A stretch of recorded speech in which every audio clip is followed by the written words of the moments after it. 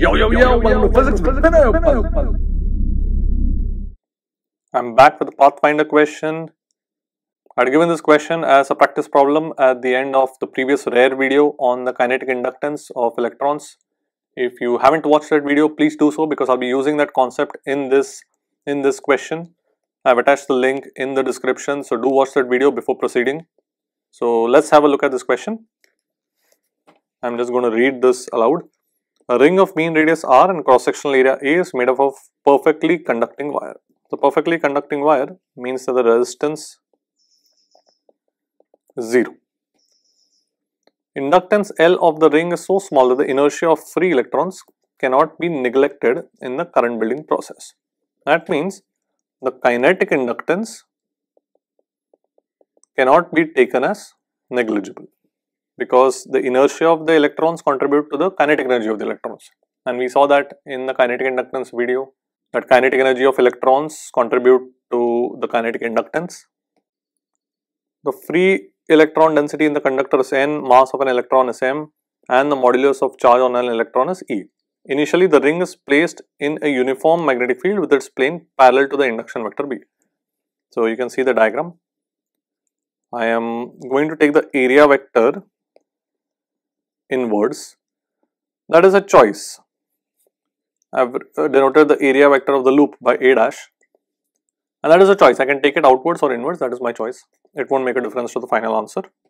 So, what is the question? Find the current in the ring after it is turned through an angle of 90 degrees. And in the previous rare video, I had told you that the axis which was missing in the question is the diameter perpendicular to the magnetic field and it is rotated in this manner. So, the ring is rotated about its diameter. So, let us have a look at how we will solve this question. So, a perfect conductor implies that resistance is 0 and if resistance is 0, the net EMF in the loop will also be 0 because I can write net EMF in the loop as IR and R is 0, the net EMF is 0. If the net EMF is 0, then that means that the net flux is constant because EMF is rate of change of flux by Faraday's law. The only thing here is that the net flux has to include the kinetic, the flux associated with the kinetic inductance as well. So I can write the net flux is self flux, self due to the self inductance plus the kinetic inductance ka flux plus any external magnetic field ka flux. So I'll have self inductance flux would be L into Y, kinetic inductance associated flux would be Lk into Y and the external flux would be B dot A. Here A I am referring it to as A dash because the question already uses A as the cross sectional area. So L plus Lk I am just referring it to as L net, the net inductance which includes the kinetic inductance. So this is the flux due to the self inductance as well as kinetic inductance plus the flux due to the external magnetic field. Now what was kinetic inductance? Once again I am going to refer you to the video on kinetic inductance whose link I have put in the description. We had derived the kinetic inductances ml by ne squared a where m was mass of one electron, l was the loop length which in this case would be 2 pi r n is the free electron density, E is the charge of an electron and A was the cross sectional area. Alright, so what we are going to do is we are going to set the condition that the net flux has to be a constant in a perfect conductor. So I am just going to write the initial flux, I am going to write the final flux and I am going to equate it by including the kinetic inductance as well.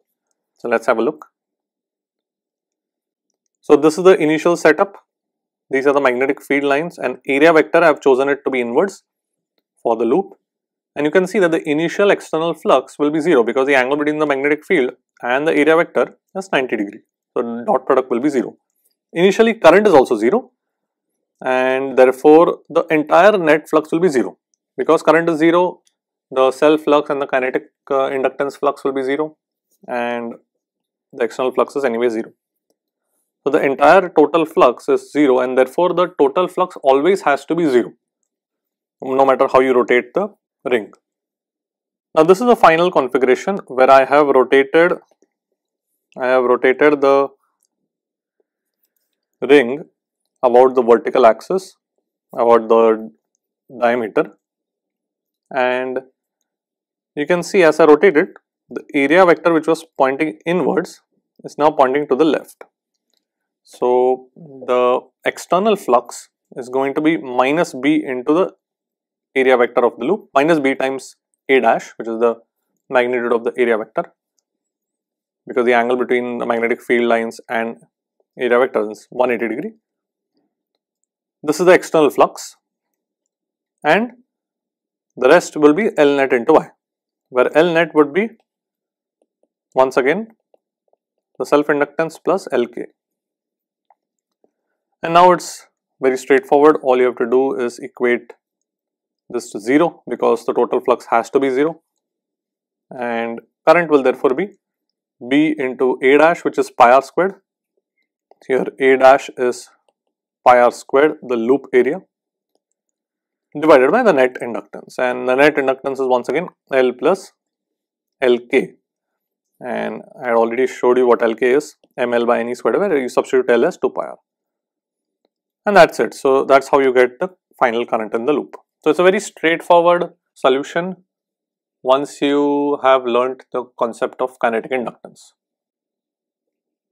Just an alternate way to arrive at the flux equation is you can also imagine that your loop is, is has some inductance L, resistance R and some external EMF E. This is not this is not necessary that it's actual it's an actual battery. It this external EMF can be due to uh, some motional EMF, it can be due to some changing magnetic field, whatever. It's just uh, for representation that I've drawn it this way. So my circuit equation will be E external minus L di by dt minus IR is 0. This is my circuit equation for an RL circuit.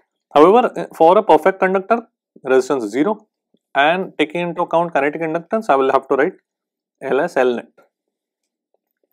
Now external EMF I can write it as minus d phi by dt where phi is the external flux and then you can just see that uh, just manipulating just cancelling out the negative sign and you can see that the derivative of this entire term phi external plus L net I is 0 that means this entire term should be constant. If external flux plus L net I should be constant which is pretty much what we had used here that the net flux which is L net I plus the external flux is a constant. So, just another way to arrive at this equation.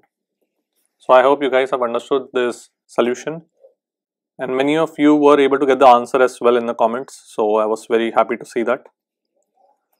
Alright, that's it for today. Good night.